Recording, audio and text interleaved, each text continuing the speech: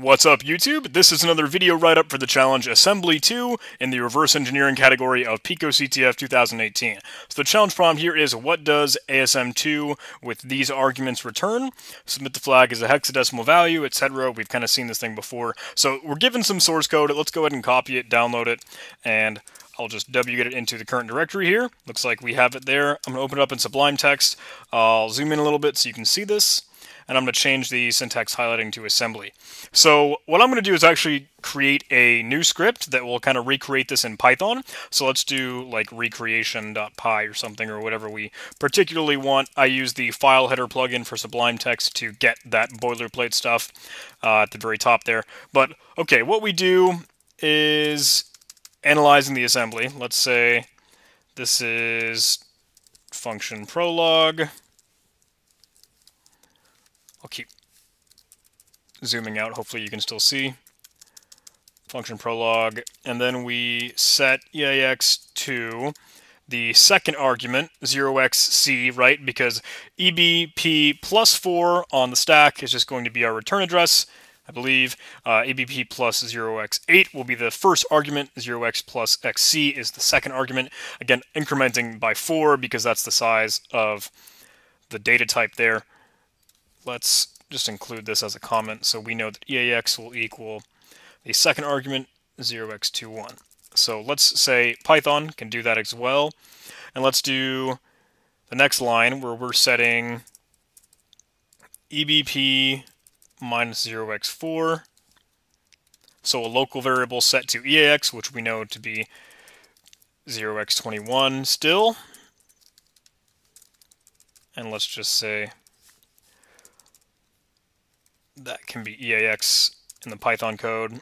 We'll do the same for the next argument. So EAX can equal just the first argument we give it 0x8 and just using not not not using this because that's the same value here, but using it because it's the first argument that we're passing this function, uh, EBP or the base pointer plus 0x8. So once we set EAX, we'll do the exact same thing just as we did previously with a new local variable. We can say EBP minus 08 will be equal to equal 0x8 in this case. And we'll do that just as we did earlier in Python. Set it equal to EAX, but before we do that, we have to set EAX to equal this. So that's just creating these local variables for us in our stack, or from the stack in the very start of the function.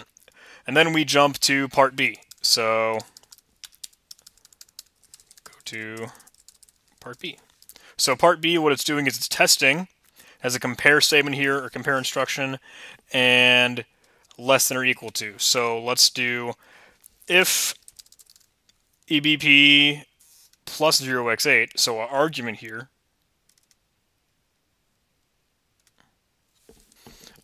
we actually don't have a variable for that yet, so let's go ahead and create one. Because underscores are going to be minus in this case. So Let's do minus here and minus. So now we can have EBP minus, or plus, sorry, for arguments. That can go ahead and equal the first argument that we give it, second argument that we give it, 21.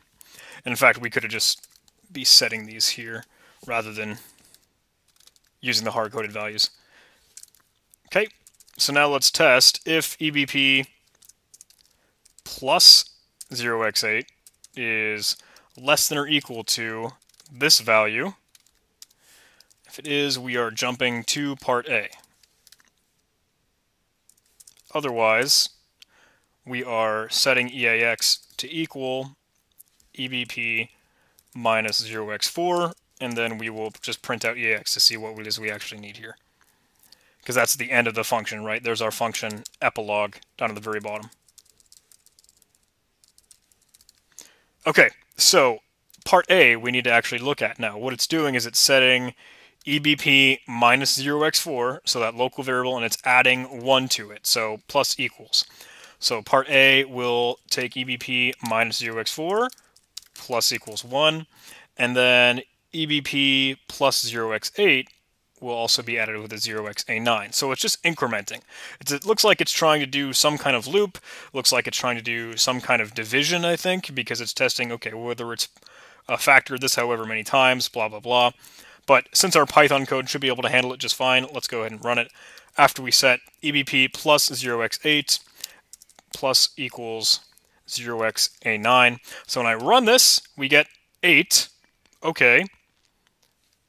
Let's see what we look like here. Is EBP correctly being set here? Uh, looks like if we try and debug this here, no, it's not. So something is wrong in our code. We are, let's check out what EBP minus 0x4 is. 33.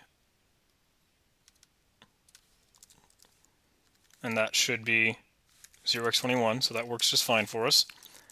Now we do the same thing with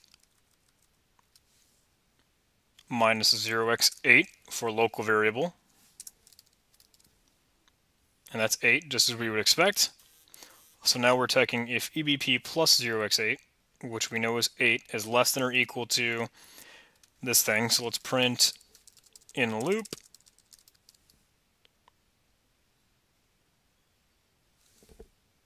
Okay, that only happens once, so that must be why. Of course, it has to go back to part B once part A is done. We just didn't have that procedural loop in there. So we can do a while one here actually just to loop it because we know that that's just going to return back to that other part B test. So once we print EAX, or once we actually have that else be returned true, let's print EAX and then return. So now we'll break actually because we're not inside of a function. So we'll stop looping. So we have 120 as our final answer. Okay, let's see what that is in hex. Run this 0x78. Perfect. Sounds like a plausible answer. Let's go ahead and submit it. And we got it right. Okay, cool. So all that we really did there was recreated this assembly code in Python, so it's something we can easily kind of understand and manage. We step through it just with our comments on the side, and we just try to recreate something that we can run very easily. Uh, maybe we could do this with NASM if you just wanted to compile it and run it if you are that much of an assembly guy. Sweet, more power to you. Uh, but I just figured, okay, I'll step through it and try to understand a little bit. Uh, the while one thing or the loop is interesting. Remember, because we immediately jump to part B, and then if it's less than or equal to A, which for the first couple iterations we know it is, it'll move up here, and then after it runs through each of these commands, it continues back into part B because it's assembly spaghetti code, right? So you just dial back into it. Okay, so before I go, I want to give a quick shout out to the people that support me on Patreon. Thank you guys so much. I cannot say this enough. $1 a month on Patreon will give you a special shout out just like this at the end of every video. Just kind of get your name up in lights here or just kind of add to this list. And maybe it's a warm, fuzzy feeling inside that you're just helping helping another bro out. So thank you. $5 a month on Patreon will give you early access to all of my videos before I release them on YouTube. I'll put them in a shared Google Drive folder and you'll be able to access them before they uh, get uploaded on a scheduled kind of gradual release cycle on YouTube. YouTube. Um, I need to get better at actually releasing and preparing some content in advance. Um, so take it with a grain of salt, but I'm always grateful for your support. So if you're willing to do that, thank you so much. If you did like this video, please do a like, comment, and subscribe. Join our Discord server, link in the description. It is a cool community full of CTF players, programmers, and hackers. Uh, you can hang out with me and a lot of other super smart people, much smarter than me. Uh, and hey, I love you guys. I hope to see you in the next video. Uh, thanks. Hope to see you on Patreon. Later.